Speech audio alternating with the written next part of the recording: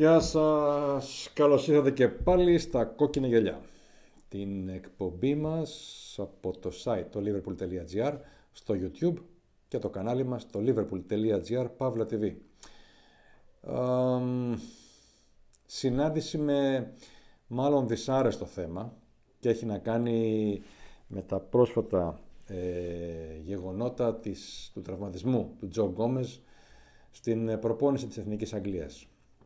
Αυτό προσθέτει ένα επιπλέον πονοκέφαλο στο Γερμανό και γενικά σε όλους εμάς ένα άγχος ε, για το πώς θα εξελιχθεί όλη η κατάσταση με την πανδημία τραυματισμών αν θέλετε.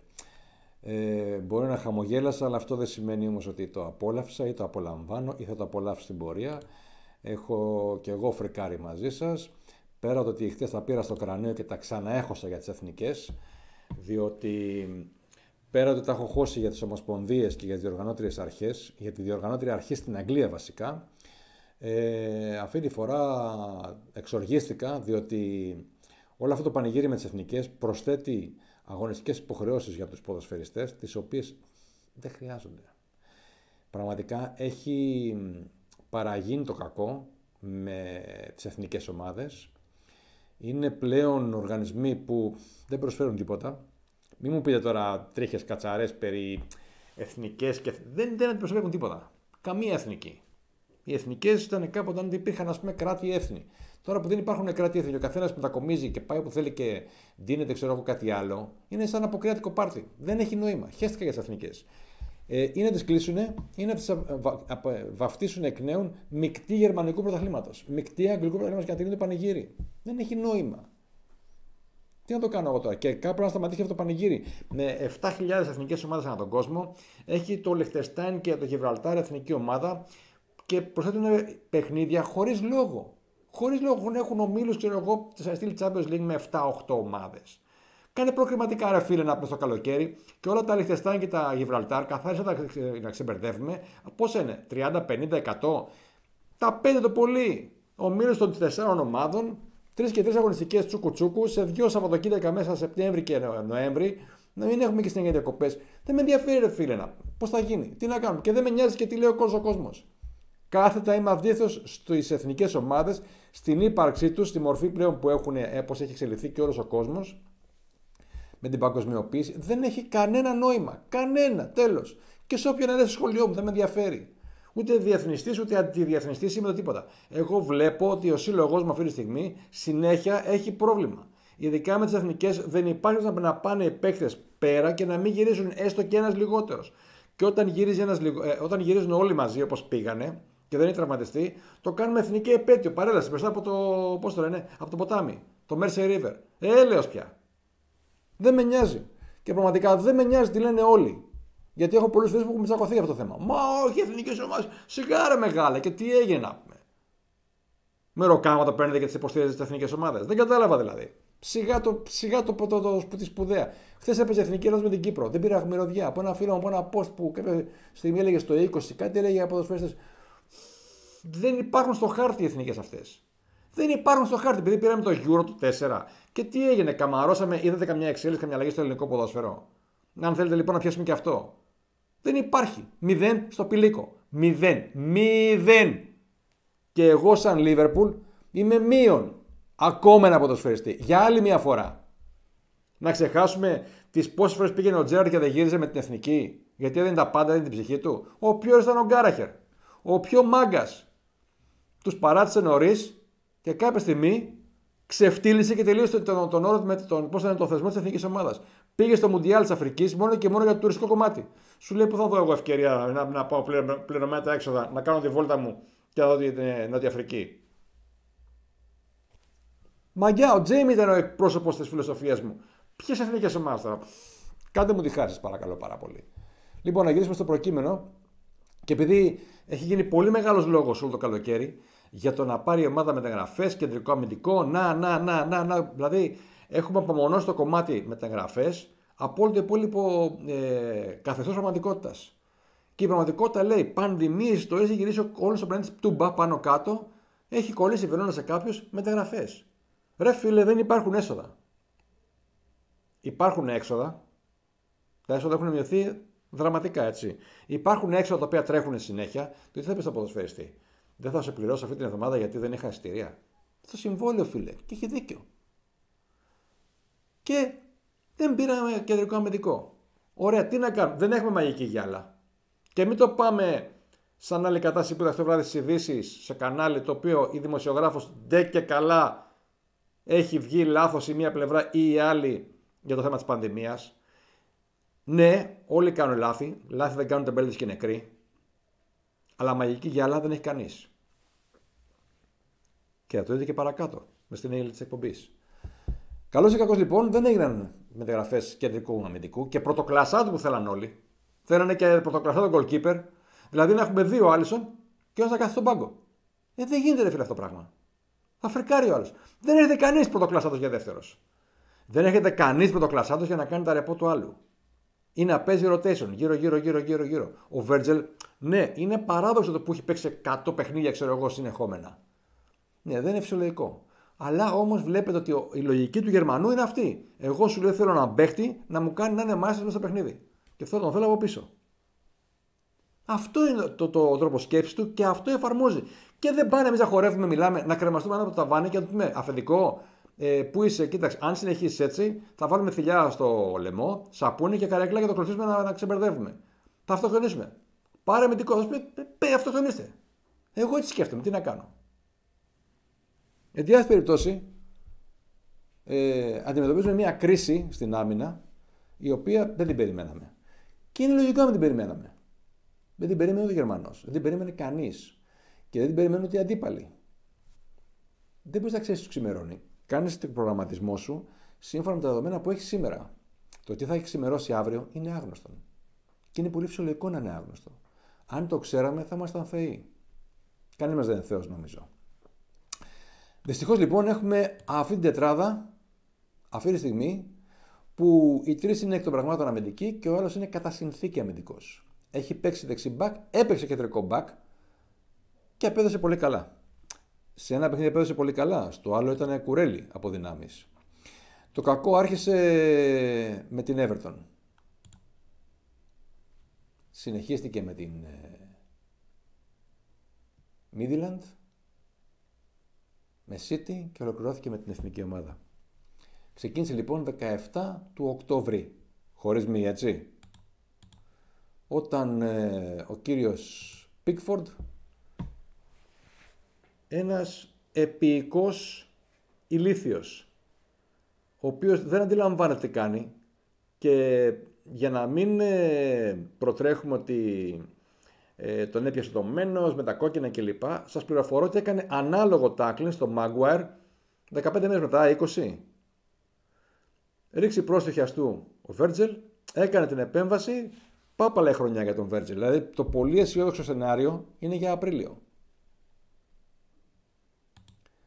Πάμε στο επόμενο παιχνίδι με τη Midland. Εκεί που δεν το περίμενε κανείς, ο Φάμπιο Ταβάρες ή Φαμπίνιο όπως το ξέρουμε, πάρ τον κάτω. Ευτυχώς εκεί τα, τα σενάρια ήταν και άμεση αντίδραση του Γερμανού.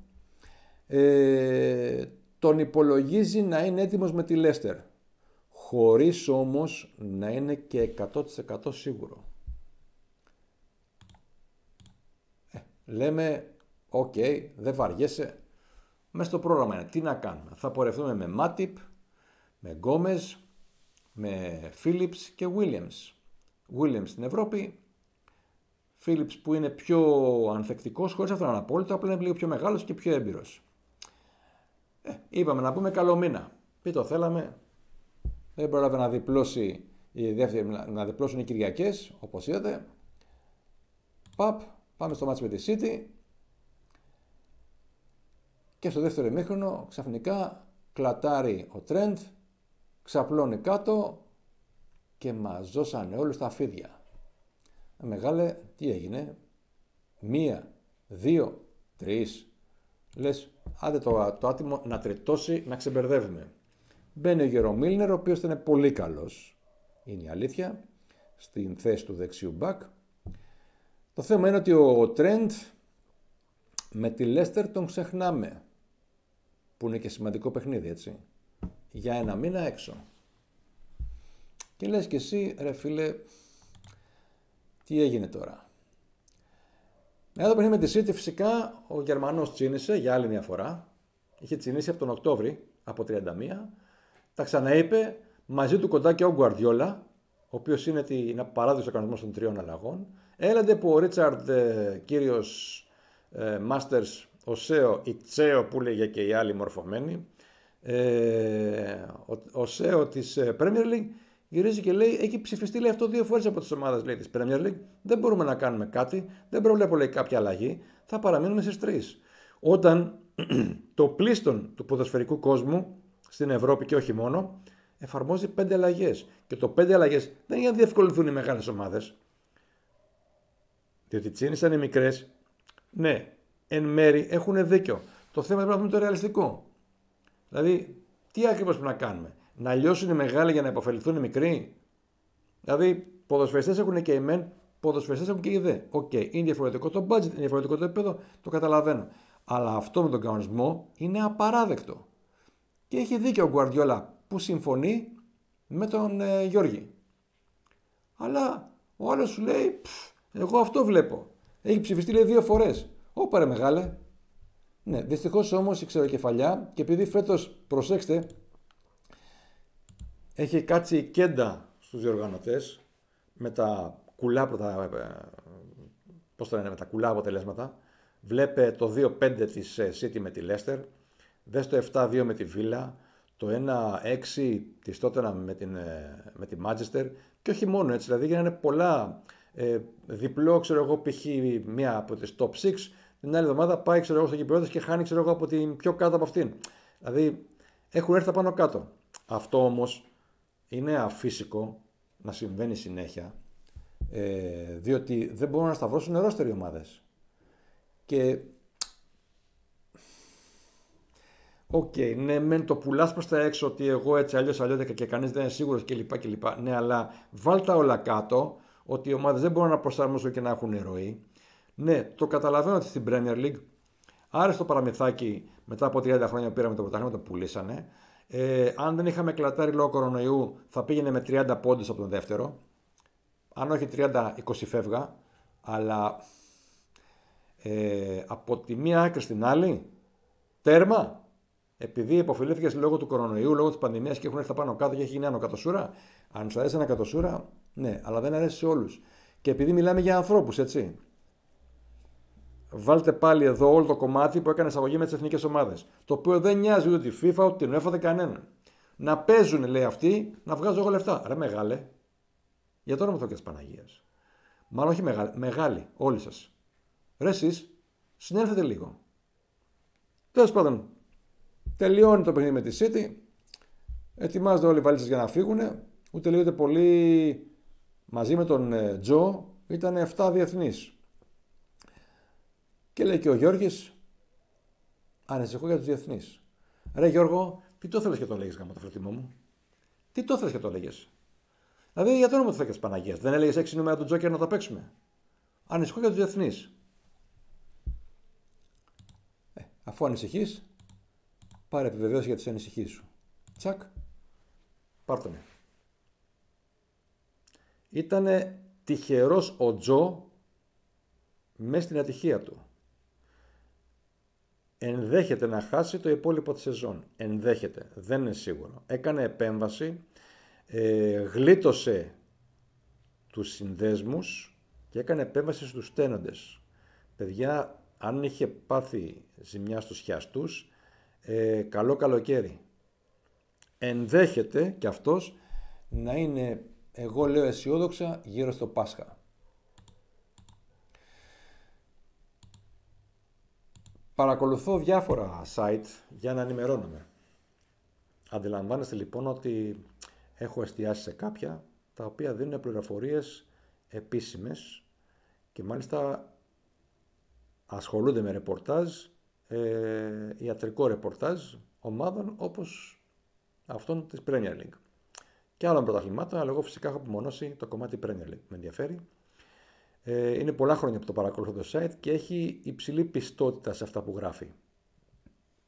Συγκέντρωσα λοιπόν το δελτίο απόντων και σας το παραθέτω. Λοιπόν, τώρα, εδώ θέλει προσοχή και ψυχραιμία. Ο Τιάγκο είναι με πρόβλημα στο γόνατο, στο 50% της φυσικής του κατάστασης. Ε, και η προβλεπόμενη επιστροφή του είναι για το μάτς με τη Λέστερ. Ομοίως και για τον Φαμπίνιο. Όμως εδώ με το Φαμπίνιο είναι πιο προσεκτική, ορθώς, χωρίς να έχουν ακόμα το σκηνικό με τον Γκόμες, ε, διότι τώρα ένας λόγος παραπάνω να θέλουν να έχουν ένα αξιόπιστο center back κοντά τους. Βάλτε ότι ο Μάτιπ να χτυπήσει ο ξύλο, κούφια ώρα που το λέω, είναι ευπαθής στους τραυματισμούς. Το επόμενο στάδιο είναι να δούμε ε, Williams ή Phillips με παρτενέρ, αν γίνει καμιά αυτή ζημιά, χτυπάω ξύλο σας λέω έτσι. Έχω δαγκό στη γλώσσα μου, ε, φτύνω τον κόρφο μου, αλλάζω θέση, κουνιέμαι. Να δούμε center back τον Χέντο. Δεν έχεις άλλη επιλογή είναι ο μόνος που αντιλαμβάνεται τους χώρους. Ο μόνος που έχει σωματοδομή, ο μόνος που έχει άλμα για κεφαλιές, δεν ξέρω πόσο μπορεί να αποδώσει αυτή τη θέση, αλλά έχει αντίληψη του παιχνιδιού. Θυμίζω ότι τον έβαζε να παίζει 1,5 χρόνο εξάρι. Και όλοι λέγαμε μα τι ου, ε, ε, ε, Εντάξει, το κατάλαβε και ο Γερμανός στο εξάρι χαραμίζεται. Θέλω να σκέφτομαι αισιόδοξα. Είναι πέμπτη που γράφεται εκπομπή. Μέχρι την άλλη Παρασκευή είναι 8 ακριβώς ολόκληρες μέρες για να δούμε στην αποστολή Φαμπίνιο και Τιάγκο. Τώρα, όπως καταλαβαίνετε, με την κατάσταση που επικρατεί, θα είναι καλό όλοι να είμαστε πάρα πάρα πολύ σοβαροί στο τοποθετήσεις μας, να μην έχουμε την απέτηση ή να ονειρευόμαστε οι χειρές ή δαπανηρές μεταγραφές το Δεκέμβρη, διότι σας το ξαναλέω, ο Γερμανός δεν πρόκειται να αποκτήσει πρωτοκλασσάτο ποδοσφαιριστή και να ακυρώσει κάποιον άλλον, εκτός και αν έχεις το πρόγραμμα το καλοκαίρι να σχολάσει κάποιον ή θέλει να φύγει κάποιος για τους δικούς του λόγους. Όπως ήθελε να φύγει ο Ντέγεν. Ο Λόβρεν δεν τον έδιωξε κανείς, σας το ξαναλέω. Ήθελε να φύγει να παίζει εντεκάδα anyway. Καλός ή κακός. Καλός για τον ίδιο. Κακός για μας όπως αποδεικνύεται. Διότι ήταν ένας έμπειρος αμυντικός, ο οποίος αυτή τη στιγμή και αν χρειαζόταν. Έτσι λοιπόν, κουλιμπαλίδες και σία τους ξεχνάτε. Αν φέρει ένα κουλιμπαλί ο Γερμανός, το οποίο εγώ το θεωρώ απίστευτα απίθανο, θα πρέπει αυτομάτως να σκεφτόμαστε ποιος θα φύγει το καλοκαίρι.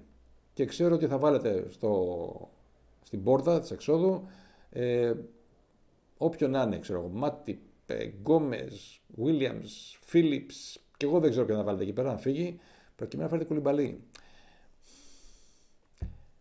Ξεχάστον. Εγώ ούτε καν τον έχω σκεφτεί. Όμως, επειδή κατά καιρούς έχουν ε, ακουστεί διάφορα, και τώρα φυσικά θα γίνει τρελό πάρτι, έτσι. Σας παρουσιάζω μια τετράδα η οποία έχει ακουστεί ε, για τον Ταγιώτ,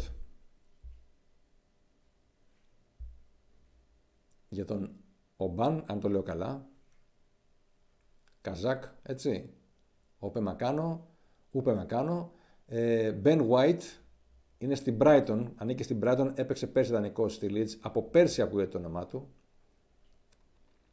και προσφάτως ο Γιάν Γιάνμα, ο οποίος είναι Ολλανδός, πρώην διεθνής, νομίζω είναι και νυν, δεν είμαι σίγουρος, ε, και ο οποίος όμως, παρακαλώ, από πέρσι το Δεκέμβρι είναι χωρίς ομάδα.